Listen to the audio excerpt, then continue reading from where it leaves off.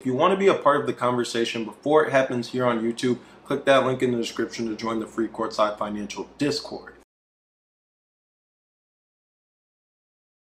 What's going on, everyone? My name's Obi, and welcome back to Courtside Financial, the podcast where we talk about business and technology. In today's episode, we'll be talking about how NIO needs to address their sales problem uh, sooner rather than later. This is going to be a good episode, but if you're new to the channel, make sure you hit that subscribe button, click the like button, notification bell icon, and leave a comment down below as your engagement really does go a long way in helping out the channel.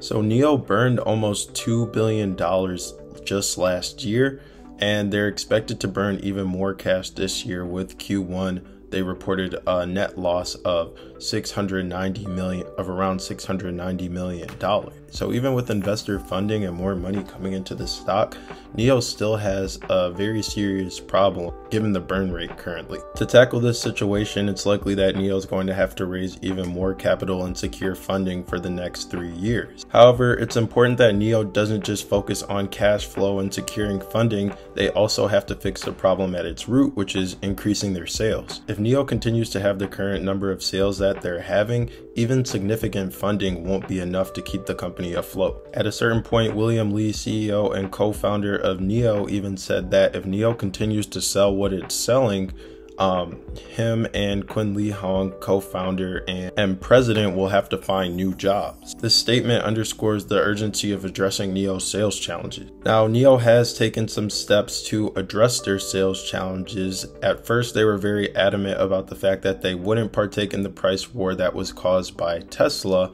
who has been kind of dictating uh, for the rest of the market to cut prices as well. Well, after some disappointing sales figures came out, and I'm sure um, investors uh, voicing their opinion that they're not so happy about what was going on with NIO. Why is it selling less than Li Auto? Why is it selling less than Xpeng as well?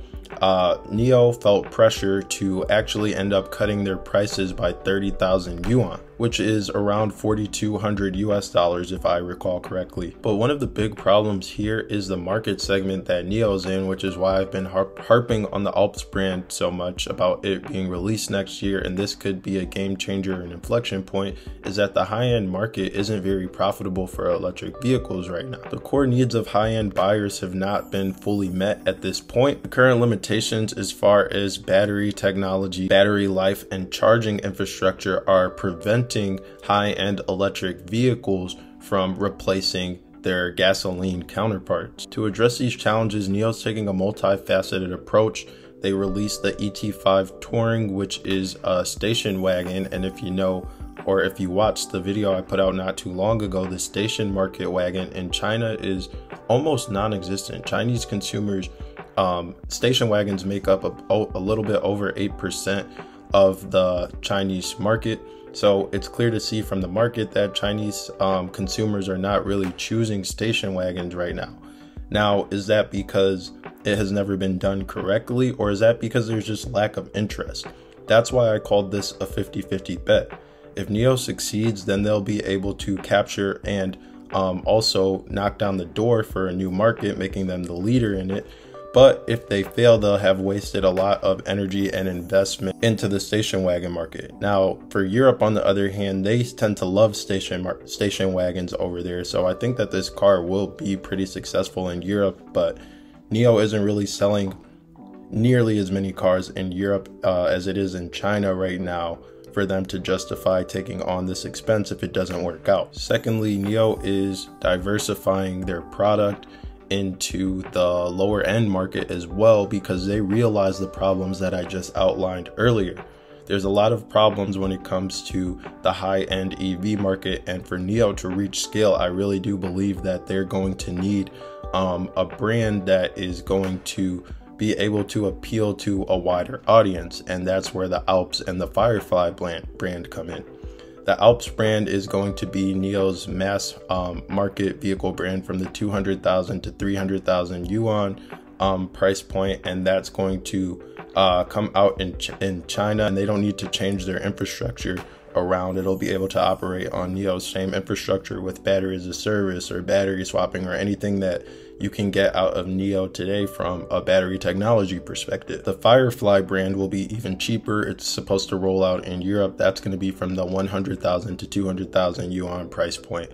And so I think that both of these brands that are expected to release next year could help NIO reach scale and sell a lot more cars faster and help their the problem that they're currently facing as far as sales. This strategy will help NIO uh, compete against cheaper uh, electric vehicle makers such as BYD or um, GAC as well, who are making these cheap cars that are selling pretty fast, but guess what? NIO has a better technology, in my opinion. Entering the low end market can also be a challenge, though. Oftentimes it's a race to the bottom, but we'll have to see how things play out. I think with um, the price point that they're at, with the um, subs with the tax exemptions that they'll receive in China as well, which is favored towards battery swapping and then also having battery as a service, I think NIO can come in at really competitive prices uh, with the Alps brand, and obviously the Firefly brand is going to be priced even cheaper in Europe. Now, at one point on this channel, there was a time when we were talking about NIO having plans of European expansion, and guess what? They actually are in Europe at this point in time. They first entered Norway. The company plans to gradually expand its footprint in the European market, and if they're able to do that, that'll help out the company big time. This move will allow NIO to tap into growing demand for um, electric vehicles in Europe and then also diversify its client base, which is obviously going to help out sales uh, in the long run if successful. Additionally, NIO is very adamant about expanding its infrastructure wherever they go. They know that they need to get more infrastructure on the ground in Europe, and they've been consistently expanding their uh, infrastructure in China as well, which is going to give consumers of all three of these brands in the future NIO, Alps, Firefly um, a real reason to purchase NIO, and it's going to kind of widen the moat through infrastructure as well. They have NIO Power Swap, which allows users to quickly switch out their batteries for a full battery in under five minutes. They also have superchargers just like Tesla, and they're putting more of those on the on the ground. They also have charging piles, destination chargers. So with NIO, it's really kind of pick your own flavor. How do you want to charge your electric vehicle? And I think that once they have a lot of infrastructure on the ground, the decision will be easy for consumers. That's the reason a lot of people in the US choose a Tesla over um, any other electric vehicle because Tesla just has the infrastructure on the ground. And, and NIO's made this a focus point for them as well and I think that's the logic behind it. All of NIO's new vehicles are coming out on their second generation platform, which is NT 2.0. And on this platform, NIO aims to kind of deliver cutting edge technology and differentiate itself from the market and even differentiate themselves from um, their NT 1.0 uh,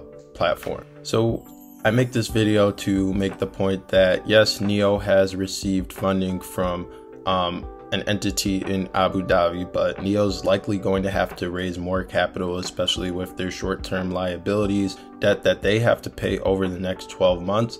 And so, to raise more capital, they have to really show investors something. And when I say show investors something, I mean that means that NIO as a company needs to really increase their sales.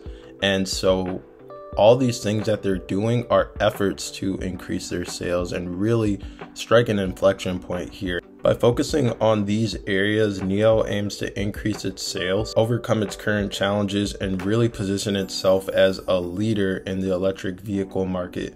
Uh, globally and especially in China to start. I want to know what you guys think about NIO and their plans to increase their sales. Do you think that they're moving in the right direction, or do you think that um, they're they're not really doing the right thing at this time? leave a comment down below, hit the like button. Uh, remember to subscribe if you're new here and click that notification bell icon. Thank you. I'll catch you guys in the next video and happy Monday.